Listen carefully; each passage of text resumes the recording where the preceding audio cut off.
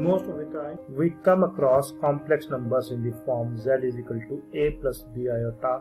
However, there are alternate forms which are very useful at times. It's normally much easier to multiply, divide and find powers or roots of complex numbers if they are expressed in these forms. Hello everyone, my name is Arun Kaushish. In this video, we find ways to represent complex numbers in polar form geometrically as well as analytically.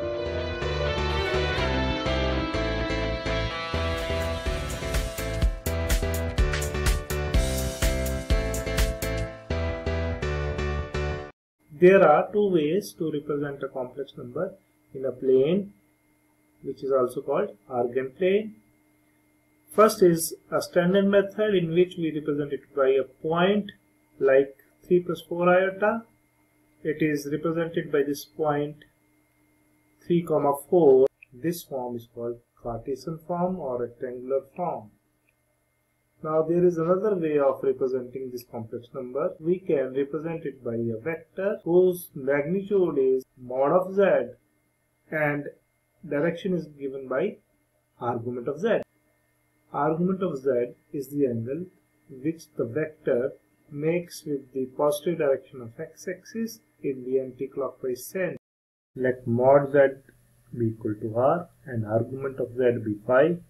Then a vector representing z is of length r and the angle which it traces with the positive direction of x-axis is phi.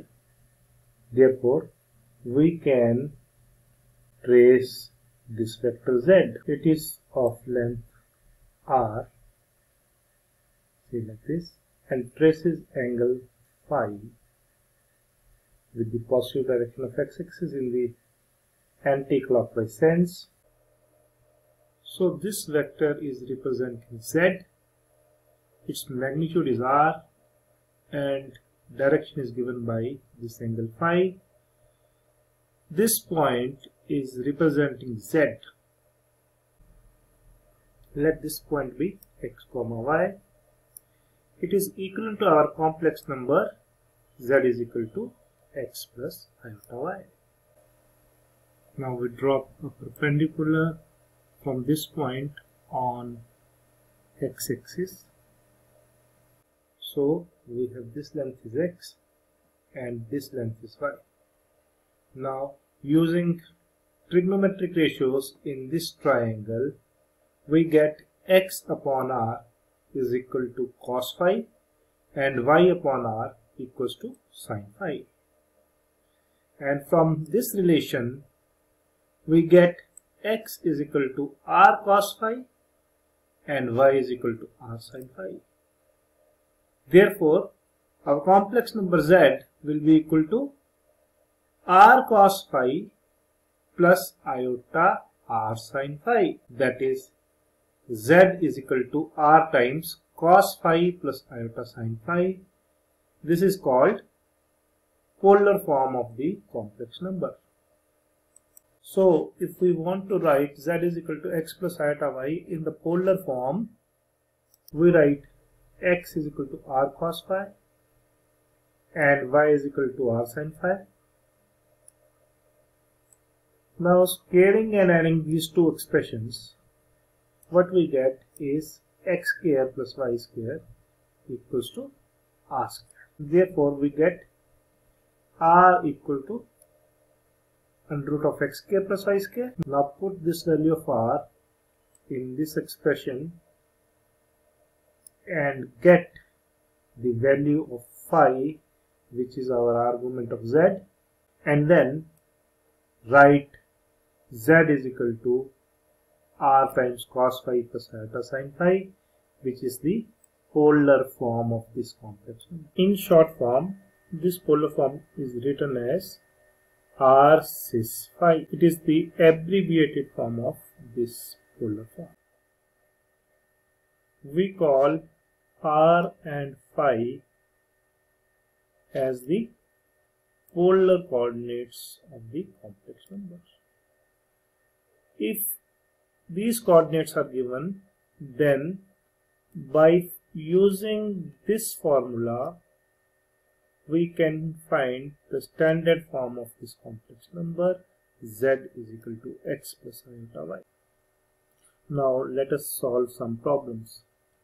But before that, we recall the definition of the term argument z. Argument of complex numbers. It is the angle phi from the positive real axis to the vector representing z. Its numeric value is given by the angles in radians. It is positive if measured counterclockwise and negative if measured in clockwise sense. Argument z can have infinite possible values. This is because if theta is an argument of z, then 2 and pi plus theta is a valid argument. But to be more specific, we define a unique value called principal argument of z. It is in the interval minus pi to pi. It has unique value for a given complex number z. This we have discussed in the previous video. Polar form of z is equal to 3 iota. Let us first do these questions graphically. We form a vector representing z is equal to 3 iota. It is this vector. It makes an angle of 90 degrees that is pi by 2 with the positive direction of x-axis. And its length is 3 units. Therefore, r is equal to 3 and phi is equal to pi by 2 therefore z in polar form is 3 times cos pi by 2 plus iota sine pi by 2 for z is equal to minus 4 its vector is from 0 to minus 4. Now this vector makes an angle of pi with the positive direction of x-axis. Therefore, its argument is pi and its modulus is 4. So, r is 4 and phi is pi. So its polar form in short is 4 cis pi, which is equivalent to writing 4 times cos pi plus iota sine.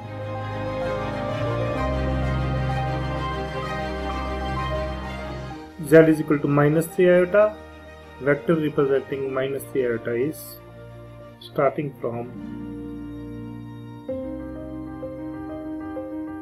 origin to the point minus 3 iota. Its length is 3 units and it makes an angle of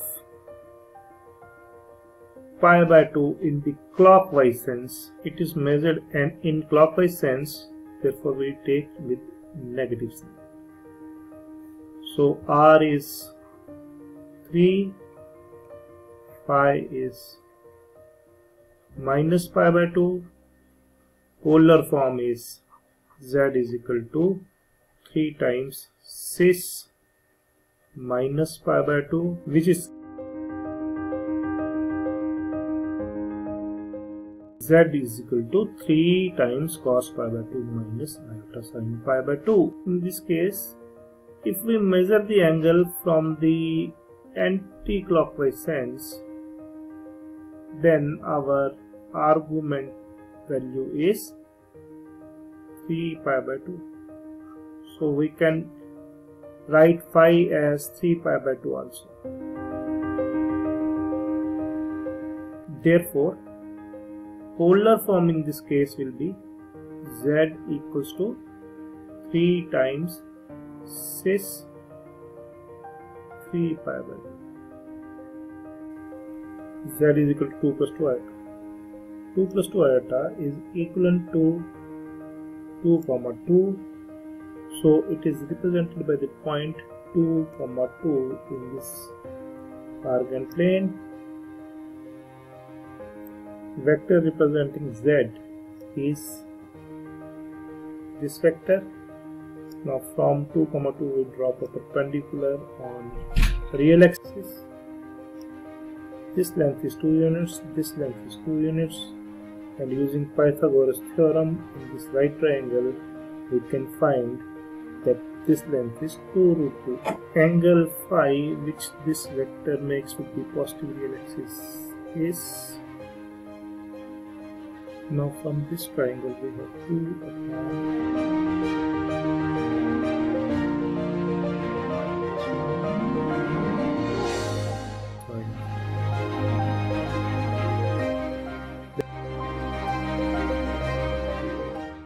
equals to 1 upon root 2 this means phi is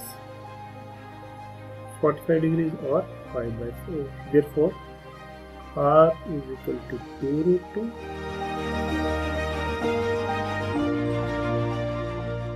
so z is equal to 2 root 2 times cos pi by 4 plus iota sin pi by 4 is the polar form. Now we do these questions analytically. Now let us try some examples. Write z is equal to 3 plus root theta in polar form. Here our x is equal to 3 and y is root 3. Now use x is equal to r cos phi and y is equal to r sin phi. Therefore r is equal to root x square plus y square which is equal to 2 root 3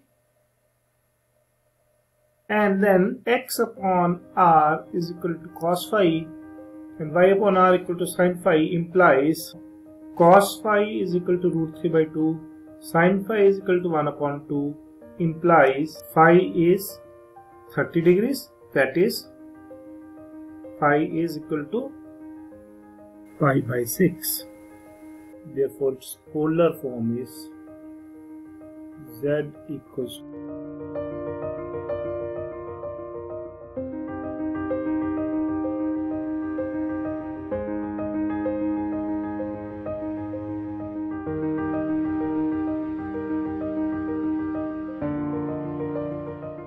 z is equal to 2 root 3 times 6 pi by 6 next question z is equal to minus root 3 plus 3 iota. Here x is minus root 3 and y is 3. Therefore, x is equal to r cos phi and y is equal to r sin phi implies r is equal to x square plus y square under root. So,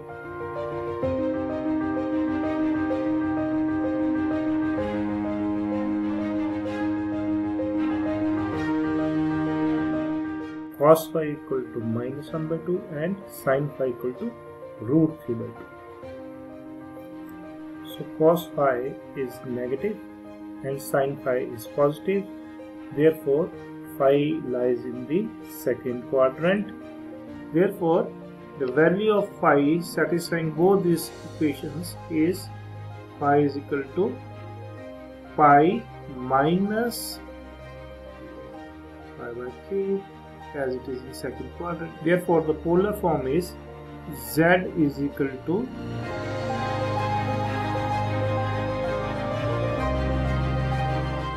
sine 2 pi by 2. Let us discuss some more problems. Write minus 2 minus 2 in polar form.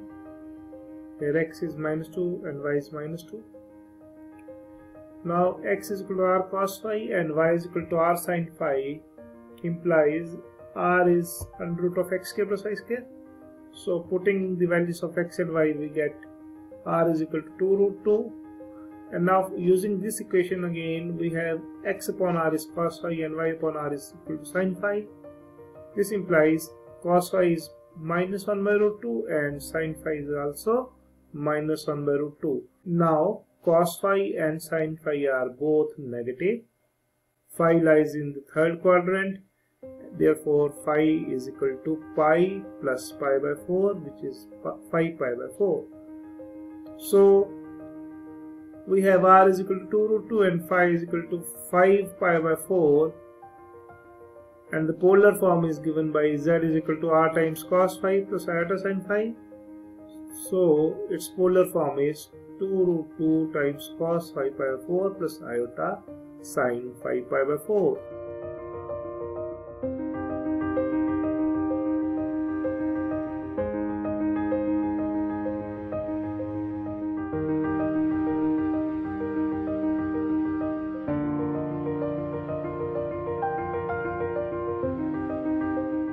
is equal to minus pi by 3 we get the polar form of this number as 2 root 3 times cos of minus pi by 3 plus iota sine of minus pi by 3 please like and subscribe my channel to boost me up and encourage me to make such videos. Thank you